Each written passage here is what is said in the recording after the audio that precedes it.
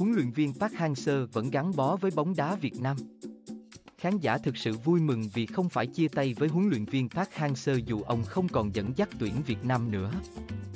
Tôi nguyện tiếp tục cống hiến công sức và trí tuệ của mình cho Việt Nam, theo một phương thức khác, ông Park quả quyết. Dự án với 4 thành viên xây dựng.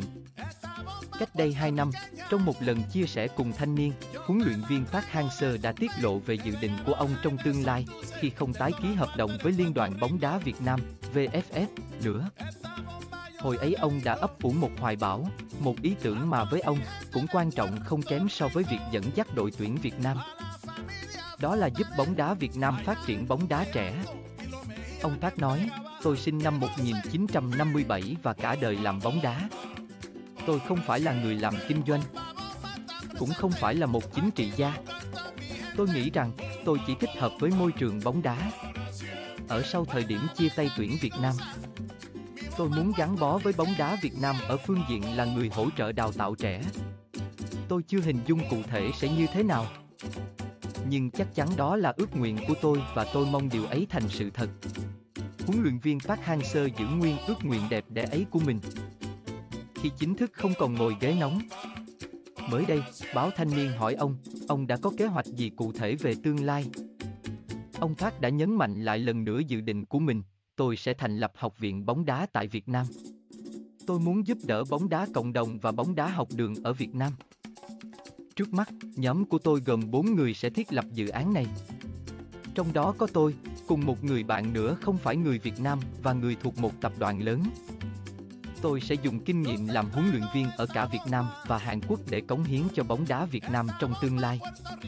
Người đại diện của ông Park nói thêm, huấn luyện viên Park Hang-seo nhận thấy ở Việt Nam, đào tạo bóng đá trẻ chủ yếu phụ thuộc vào những đơn vị tư nhân hay tập đoàn kinh tế lớn như PVF, như Học viện Juventus tại thành phố Hồ Chí Minh, hoặc ở một số câu lạc bộ có tiềm năng, có hệ thống đào tạo trẻ tốt. Ông Park muốn tập trung vào bóng đá học đường, Ông nhấn mạnh rằng, sở dĩ bóng đá đỉnh cao ở Hàn Quốc hay Nhật Bản phát triển cũng một phần nhờ vào bóng đá học đường. Cầu thủ được chăm lo tốt từ khi còn học tiểu học, lên trung học hay đại học. Và khi trưởng thành, rất nhiều người trong số họ trở thành cầu thủ chuyên nghiệp. Là nguồn tài nguyên quý giá cho hệ thống các đội tuyển quốc gia. Bóng đá Việt Nam nên coi đây là những tấm gương để từ đó có hướng đi riêng. Phù hợp với xu thế chung của bóng đá hiện đại, chưa rõ ông Park sẽ sử dụng mô hình nào và kết hợp với đối tác nào. Nhưng có thể ông sẽ chọn mô hình của bóng đá châu Âu mà một học viện nổi tiếng ở Đức, dự kiến là Frankfurt, có thể sẽ là sự lựa chọn của ông. Cú hích cho bóng đá trẻ Việt Nam Là người đang làm bóng đá học đường tại Việt Nam, chuyên gia đoàn Minh Sương nhận định, kế hoạch của huấn luyện viên Park Hang-seo nếu thực hiện thành công tại Việt Nam sẽ vô cùng có lợi cho sự phát triển của bóng đá Việt Nam nói chung và đào tạo trẻ nói riêng. Tôi tin, một huấn luyện viên rất có uy tín như ông Park, nhân vật được xem là người hùng của bóng đá Việt Nam, khi bắt tay vào công việc mới mẻ này với chính ông, sẽ tạo được tiếng vang. Qua phong cách huấn luyện chuyên nghiệp, bài bản, khoa học của ông, chúng ta có thể hình dung ra. Ông sẽ mang phong cách ấy khi cùng các đồng sự, các đối tác xây dựng, đầu tư cho dự án bóng đá học đường tại Việt Nam. Nó sẽ trở thành cú hích cho bóng đá trẻ và bóng đá cộng đồng ở Việt Nam phát triển lên một tầm cao mới. Tất nhiên việc xây dựng học viện bóng đá ở Việt Nam vừa có nhiều thuận lợi nhưng cũng có nhiều khó khăn. Thách thức Ông Sương nói tiếp, tại Việt Nam, các học sinh từ 6, 15 tuổi rất đam mê và ham thích bóng đá.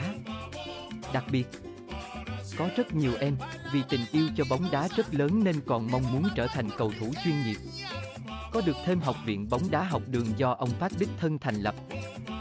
Nhu cầu của các em sẽ được đáp ứng. Tuy nhiên, những nhà đồng sáng lập học viện bóng đá trẻ, bóng đá học đường. Trong đó có ông Phát phải lưu tâm đến những vấn đề quan trọng như sau, phải có được cơ sở vật chất tốt, đội ngũ huấn luyện viên thật sự giỏi và nguồn tài chính dồi dào. Lo được quỹ đất để xây dựng học viện quy mô, sẽ là bài toán không dễ giải. Muốn phát triển nguồn nhân lực, dự án của ông Park phải kết hợp Bộ Giáo dục Đào tạo để bóng đá thành một môn ngoại khóa. Tôi không biết huấn luyện viên Park Hang-seo và đối tác định xây dựng học viện ở địa phương nào. Nhưng tôi nghĩ thành phố Hồ Chí Minh có cơ sở vật chất có thể làm bóng đá học đường. Người uy tín như ông Park sẽ có sức huy động lớn, giúp dự án dễ trở thành hiện thực. Nhưng để nhân rộng mô hình, nhóm của ông Phát cần có những cuộc làm việc cụ thể với VFS, Bộ Giáo dục Đào tạo. Nếu có sự phối hợp tốt, đồng bộ và hiệu quả thì chúng ta tin rằng dự án của ông Phát sẽ thu hút được các nguồn lực xã hội. Những doanh nghiệp lớn, những nhãn hàng lớn sẵn sàng đồng hành. Còn trong trường hợp ông Phát muốn mở một trung tâm đào tạo bóng đá trẻ như PVF, Hoàng Anh Gia Lai, Viettel, đào tạo và phát triển các em thành các cầu thủ bán cho câu lạc bộ chuyên nghiệp, hoặc chọn hợp tác với câu lạc bộ, thì tính chất và quy mô sẽ khác. Quy trình tuyển chọn cũng khác.